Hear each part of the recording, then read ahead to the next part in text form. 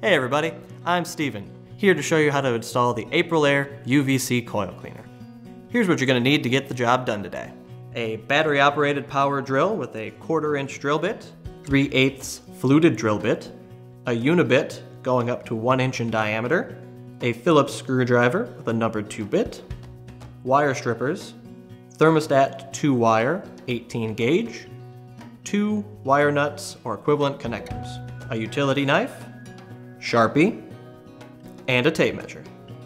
Before we get started, make sure all power is disconnected from the HVAC equipment. This can be done in the breaker box as well as at the on unit switch.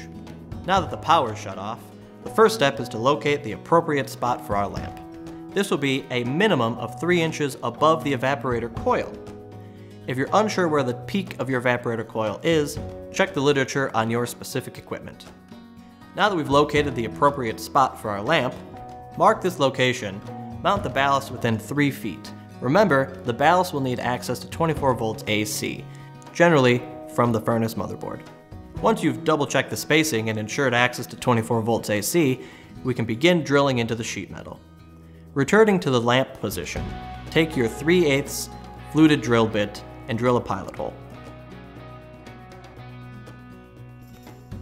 Next, mount the unibit to your drill and expand the lamp hole to a full 1 inch diameter. You may need to use several unibit attachments to achieve the full 1 inch diameter. Once the lamp hole has been drilled, align the mounting bracket centered on the 1 inch hole.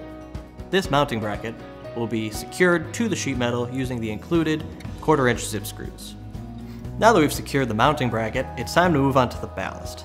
Position the ballast at the previously located spot and secure to the sheet metal using the two included quarter inch zip screws. Now that we've secured the ballast, it's time to move on to installing the lamp into the mounting bracket. Start by pre-threading the two short Phillips screws into the bracket screw bosses. Remember, never touch the lamp directly with your hands. Always use the included cotton gloves when handling the lamp. Insert the bulb through the 1 inch hole until the shoulder makes contact with the mounting bracket. Then, take the retaining ring and align the larger slots with the previously installed Phillips pan screws. Twist lock into place and then compress the shoulder between the retaining ring and the metal bracket. And then tighten the screws down by hand to securely install your lamp. Now that the lamp is securely installed, it's time to move on to wiring 24 volts AC to the ballast. This can be accomplished by using thermostat 2 wire of 18 gauge variety. First, locate the R and C terminals on the motherboard of your particular equipment. If you're unsure where these terminals are, check your specific equipment's literature. Ensuring that there's enough bare copper wire to make good contact with your R and C terminals, loosen the Phillips screws insert the wire, and tighten down by hand.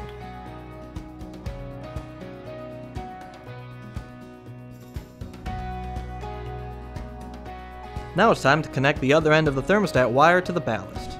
Using two wire connectors of your choice, connect and secure the thermostat wires to the ballast wires.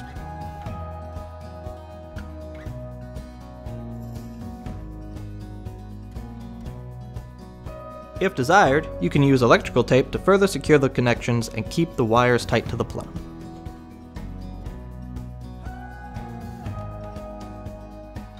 With 24 volts AC wired to the ballast, we can now drill the hole for the viewport. This will allow you to see when the UV light is powered without having to have direct eye contact with the light. Locate an appropriate spot within 3 to 12 inches of the lamp. Once an appropriate spot has been located, Use the 3 8 drill bit to drill a hole for the viewport. Firmly press the included viewport until the flange makes contact with the sheet metal. Finally, we're ready to plug the ballast into the lamp. Align the power terminal pins on the lamp with the female holes of the ballast plug. As this is asymmetrical, you may need to rotate it 90 degrees in order to get a firm fit. If this orientation is undesirable, you can always rotate the bulb without fully disassembling it. Apply the blue operational sticker within clear visibility of your ballast location, as well as the included yellow warning sticker to let people know a UVC light is installed in this HVAC system. Now that everything is installed, we're ready to re-energize the HVAC equipment. Go back to the breaker, flip it to on. If you used the on unit switch, flip that to on as well.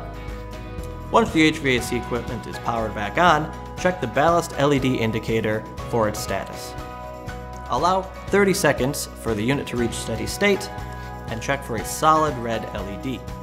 If the ballast LED reads solid, and you can see visible blue light through the viewport, the Aprilaire UVC coil cleaner is functioning properly. If the LED is blinking, check the included literature for the error code or contact us at aprilairepartners.com. If, after powering back on your HVAC equipment, you notice light leakage coming out of anywhere but the included viewing port, de-energize your system and seal any gaps with UVC resistant sealant. So that's our installation of the Aprilaire UVC coil cleaner. If you have any further questions, please feel free to contact us at aprilairepartners.com. Thank you for watching, and remember, Aprilaire is healthy air.